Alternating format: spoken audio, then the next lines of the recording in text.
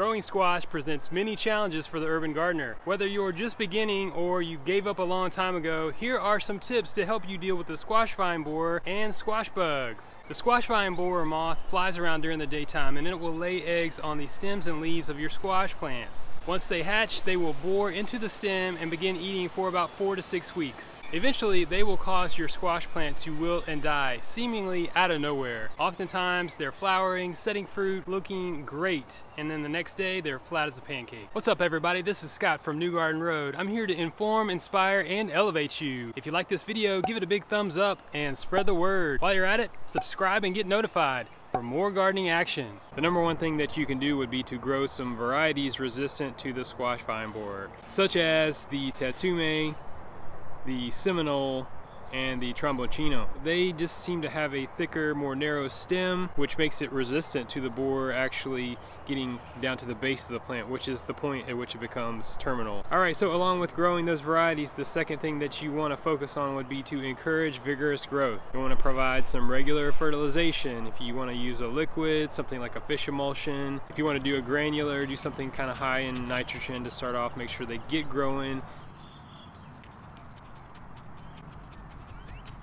the vines run and you want those vines to root along the way. That will help it maintain nutrient uptake as it gets attacked by the squash vine borer. You want to inspect regularly for the eggs of the squash vine borer moth. I find it really easy if you take like a white lid or something like that and a pocket knife. The eggs are kind of sticky so you need the pocket knife to kind of gently pry them, scrape them off. They'll pop off and you put them in the just like that, it helps you get rid of them. You can put them in a bucket of soapy water. You can dump them in the grass several feet away. That should be sufficient. I just don't want them to fall directly beneath the plant. They can be really difficult to get to. There's several really close to the base of the stem here to really be committed to this process.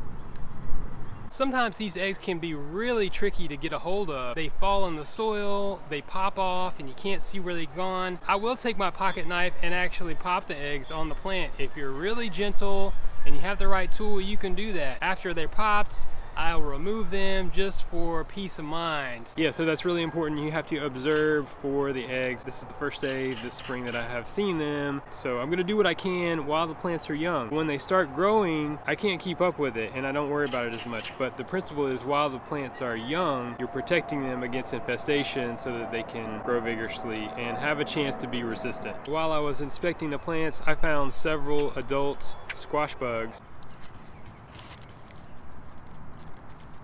These are different than the squash vine borer. The borer is a caterpillar that's inside the plant eating from the inside. Squash bugs, they'll be sucking plant juices from the plants from the outside, typically on the underside of the leaves. That's exactly where I found them. So take those adult squash bugs and just throw them in the bucket of soapy water. You can do it, just put some gloves on. They're not gonna get you. This is the squash bug eggs. This is one of the cotyledons off of one of my squash plants. So you wanna be looking for those too. Also recommend strengthen numbers. Plant several squash plants plants, as many as you can fit in. Right now I have 17 squash plants. All right, one last ditch effort if you really want to get wild is take a syringe, load it up with a solution of BT and you want to inject that into the stem of the plant. I typically targeted this when I saw infestations close to the base of the plant. That's the area that concerns me the most when I see it happening. The idea is that you inject that BT in the stem and it has to get to the point where the borer caterpillar is eating and it eats the BT just like the other caterpillars do in the garden. When I did it last year, I noticed that spot dried up. I'm not taking anything for granted. I'm doing everything I can to wage wage war against the squash vine borer. Lucky you, a lot to contend with when you're growing squash, but that's just the way it is and it's worth it. Homegrown squash is delicious. What a champion that makes you feel like when you grow something successfully. I hope that helps you. Just uh, those are the things that I have adapted to do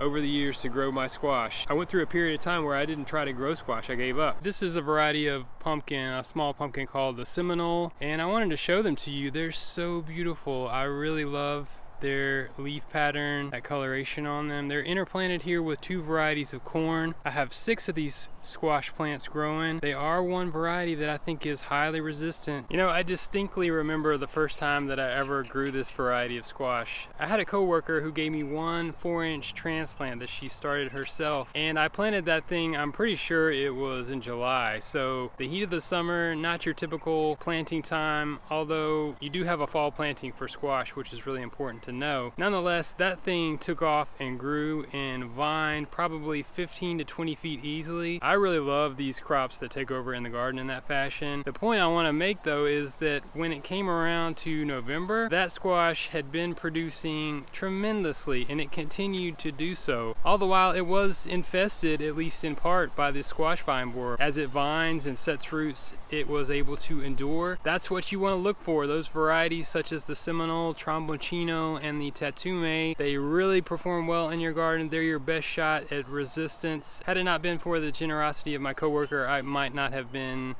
enlightened to this possibility. And at the time I had thoroughly given up on growing squash in my garden. Just think about that story and understand that you can grow some squash. Give it another shot. It's difficult. You can't necessarily grow the varieties out there that are traditional or favorable, but expand your palette.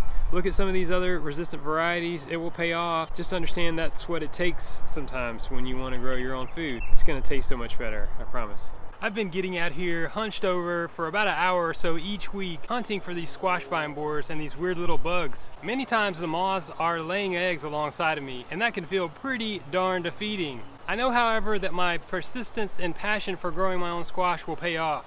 These plants are starting to vine and it's only a matter of time before I see their beautiful blooms and fingers crossed I'm gonna be grilling some homegrown squash. All right, how we look in here? Looks too high to me. A little shiny. Or you gave up Yo, yo, yo, trying to make a video full of loose dogs. Now check out some of these other awesome gardening videos on my channel. You can grow your own squash. Keep it organic.